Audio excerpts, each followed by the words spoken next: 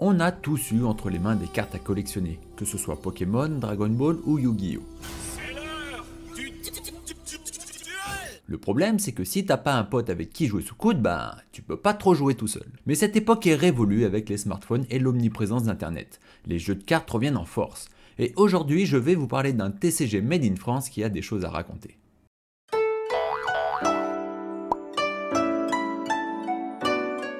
Salut à tous, c'est Maki Kiroto et aujourd'hui on va parler de jeux de cartes et notamment de Cross the Edges. Tout d'abord, je vais vous poser une question. Parmi tous ceux qui regardent la vidéo, qui a réellement joué avec ces cartes Pokémon?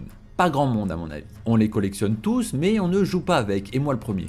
Alors moi j'ai pas de cartes Pokémon, mais par contre j'ai des cartes Dragon Ball et One Piece et je ne joue pas avec. Aujourd'hui j'ai testé Cross the Edges pour vous et on va se concentrer uniquement sur le jeu. D'autres vidéos sur the Edges sont au programme, alors pensez bien à vous abonner et à activer la cloche de notification pour ne pas les rater. Je vous prépare notamment un petit tuto pour apprendre les bases et bien démarrer sur le jeu avec le nouveau gameplay. Cross the Edges est un TCG, un Trading Card Game. Free to play, c'est-à-dire qu'on peut jouer gratuitement et il est disponible sur Android, iOS, PC et Mac. On va commencer par l'histoire de CTA. Ce n'est pas seulement un jeu de cartes, mais c'est tout un univers avec des livres et plein de choses qui tournent et qui vont tourner autour de cet univers. Tous les personnages, les éléments, les lieux qu'on va retrouver dans le jeu sont en rapport avec l'histoire des livres. Pour la faire courte, on est sur Artelium, où deux nations se déchirent. D'un côté les Arcantes, plus proches de la nature, et de l'autre les Mentrices, férues de technologie. Une guerre fait rage depuis longtemps, et a pris fin lors de l'affrontement entre Faust et Shaka. Aucun réel vainqueur à l'issue de cet affrontement, mais une énorme cicatrice qui divisa le continent en deux. Et c'est cette cicatrice qu'on appelle le Rift. Suite à cet événement, des relations diplomatiques ont été mises en place entre les deux nations pour cohabiter.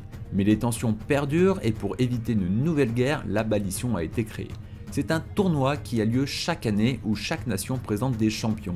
Et à l'issue de la compétition, la nation vainqueur obtient une faveur diplomatique. Et ce lore est une vraie force pour le jeu, car dans nos decks on retrouve les différents personnages de cet univers, et ça donne plus de profondeur au jeu. Pour ceux que ça intéresse, le premier tome distribué par Hachette est disponible en précommande sur Amazon et d'autres librairies. Et pour ceux qui n'aiment pas trop lire comme moi, je vous mets en description les versions audio de Grand Angle Méta et les résumés des chapitres en 5 minutes par qui raconte. Par contre, l'un des défauts que l'on peut reprocher à CTA, c'est qu'il faille sortir du jeu pour connaître l'histoire, et c'est vraiment dommage que dans le jeu lui-même on apprenne rien sur tout cet univers. Si t'as pas lu les bouquins ou si t'es pas un minimum sur leurs réseaux sociaux, tu ne peux rien savoir. Il y a un mode histoire qui fait office de tuto, mais c'est tout. Alors que le potentiel, il est là. Il y a moyen d'inclure le lore dans le TCG dans ce mode-là. Depuis l'apparition du mode aventure, il n'y a toujours pas eu de nouveauté. J'attends un vrai mode histoire. Et bien que les cartes soient très jolies, ça serait bien qu'il y ait une description des cartes quand on clique dessus, qu'on ait le nom du personnage, qui c'est, d'où il vient, qu'on ait du texte pour enrichir le TCG avec le lore de Citier qui est sa force. Au niveau du gameplay,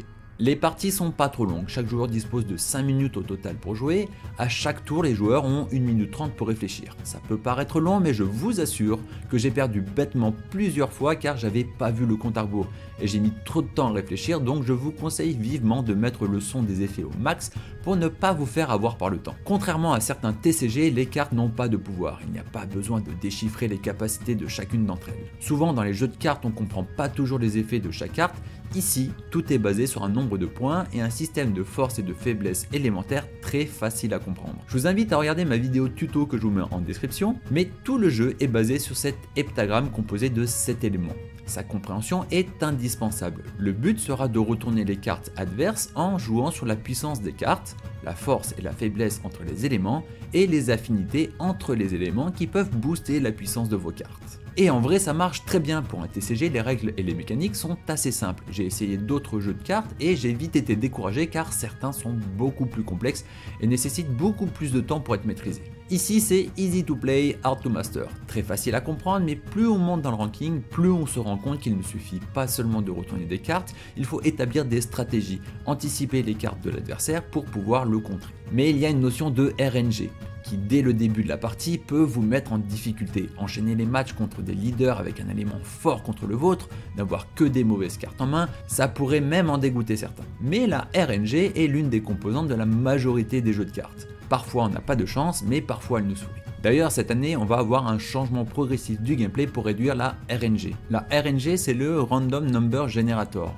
Donc en gros c'est l'aléatoire, on pourrait résumer ça par la chance. Et ces changements vont plutôt dans le bon sens, même si cela va demander un petit temps d'adaptation pour les anciens, je vous expliquerai tout cela en vidéo quand ces changements arriveront, alors pensez bien à vous abonner et à activer la cloche de notification pour ne pas les rater. Au niveau de l'interface, il y a deux modes de jeu, le mode aventure avec l'histoire qui fait office de tuto mais il n'y a pas vraiment d'histoire, et les entraînements et donjons. Rien d'extraordinaire à part pour ceux qui veulent farmer. Et il y a le mode arène, c'est là que vous pourrez jouer au jeu, que ce soit en ranking classé ou non, en PvE ou en privé avec un ami. Le jeu fonctionne en ERA, ce sont des saisons de plusieurs semaines où à la fin il y a un classement final et où les joueurs peuvent obtenir des récompenses, des coffres, des tricelles et même des invitations à des tournois IRL. Il y a un système de quêtes avec diverses récompenses, mais malgré tout il manque un petit quelque chose, car sans l'aspect compétitif et le ranking, on tourne vite en rond. Je verrais bien un système de clans, ça serait vraiment sympa de développer un peu l'aspect communautaire ou voire même du 2 contre 2. Pour ma part, c'est l'aspect compétitif qui me plaît le plus dans le jeu, me débrouille pas trop mal, mais je suis encore loin des meilleurs, faut que je m'entraîne plus sérieusement.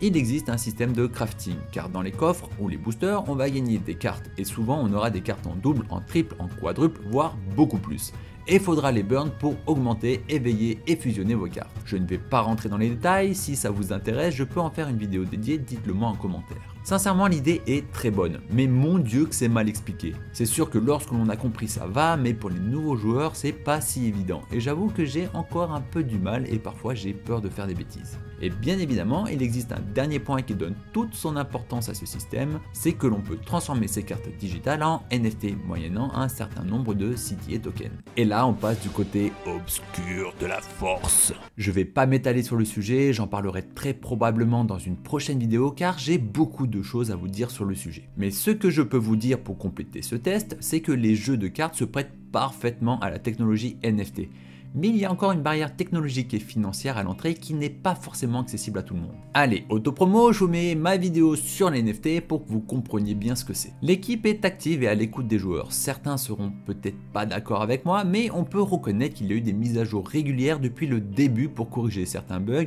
pour adapter et rééquilibrer le jeu, ce qui est plutôt une bonne chose. Mais à contrario, cela implique qu'il faut suivre régulièrement les news car il y a souvent des annonces et des fois on est perdu. D'ailleurs, ça fait plusieurs semaines, voire mois que je dois sortir cette vidéo. Ça fait trois fois que je recommence car à chaque fois on a de nouvelles annonces qui pourraient influencer mon verdict, mais à un moment donné, il fallait bien que je la sorte. Par contre, autre bon point pour Cross Edge, c'est sa communauté. D'ailleurs, je vous invite à regarder les vidéos de Monsieur Regem qui explique très bien les nouveautés dès qu'elles sortent. C'est un bon moyen d'être à jour, je vous mets le lien en description. Alors, le verdict, ça donne quoi Cross Edges Dans les points positifs, on notera le lore et la DA, la team qui est très active et à l'écoute, ainsi que sa communauté, les mécaniques de gameplay simples, l'avenir que nous propose CTA, l'e-sport, l'aspect Web3. Dans les points négatifs, on retrouve beaucoup de changements, système de crafting, d'augmentation et d'éveil complexe, la RNG, le déséquilibre entre les joueurs Web2 et Web3 pour l'aspect compétition, la barrière à l'entrée du Web3. J'adore les jeux avec du lore, avec beaucoup de profondeur. Les livres de Crossy Edgy sont très bien écrits et ça donne une toute autre dimension au jeu. J'ai toujours aimé les jeux de cartes, j'adorais regarder Yu-Gi-Oh! sur Canal J quand j'étais jeune, dans FF 8 et 9 j'avais adoré les jeux de cartes, j'ai passé beaucoup de temps sur Clash Royale, oui c'est un jeu de cartes, j'ai surkiffé le Gwent dans The Witcher,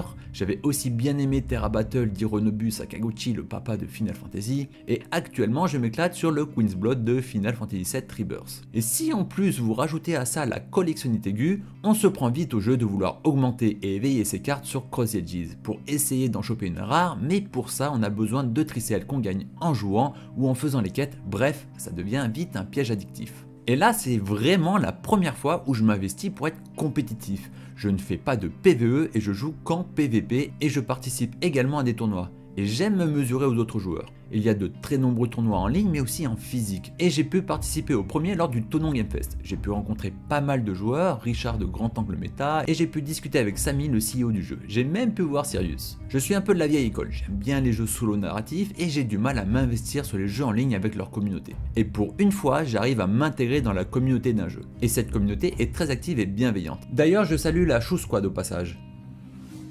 Kira, Regem, Fanchou qui nous régale avec ses petits tournois du mardi, mon ami Crypto qui m'a permis de rentrer dès le début sur le jeu et qui m'a donné des conseils pour bien jouer, et tous ceux que j'oublie. De plus, Citier, contrairement aux autres jeux de cartes numériques, propose cet aspect de propriété digitale avec ses NFT et son côté Web3. On retrouve ce que l'on ressent avec ses cartes Dragon Ball Heroes, One Piece ou Pokémon, mais de manière numérique, et surtout qu'une version physique associée devrait arriver. Je suis très enthousiaste sur ce jeu, mais ce n'est pas tout rose non plus. Même si j'aime bien le gameplay, j'attends le changement avec la carte leader pour diminuer la RNG.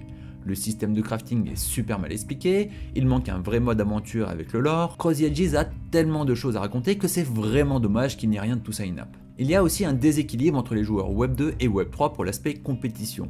Pour être un minima compétitif, il faudra passer à la caisse. J'ai pas envie de parler de pay to win, mais pour un joueur Web 2, il sera beaucoup plus compliqué d'avoir de bonnes cartes.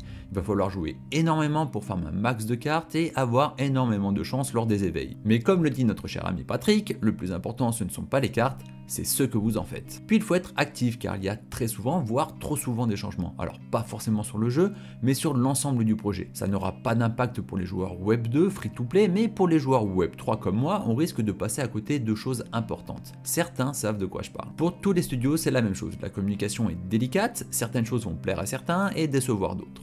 L'univers de Crossy Edges est très riche et plein de choses sont encore à venir, notamment deux autres jeux, dont Arise, un action RPG qui devrait arriver en fin d'année un film d'animation qui est en cours de développement, des BD et la suite des livres. Si je dis pas de bêtises, il devrait y en avoir 7 au programme.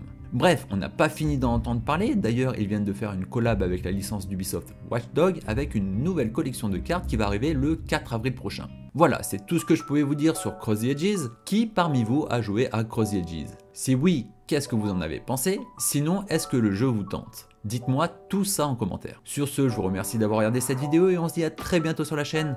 Ciao Eh mais t'as pas oublié quelque chose par hasard? Si t'as aimé cette vidéo, n'oublie pas de lâcher un énorme pouce bleu. Quoi Mais t'es pas encore abonné? Pense à le faire en cliquant juste ici. Et si tu ne veux rien rater des prochaines vidéos, pense à activer la cloche de notification juste là. Et tu pourras également me retrouver sur Twitter, autant pour moi sur X, tu trouveras le lien en description.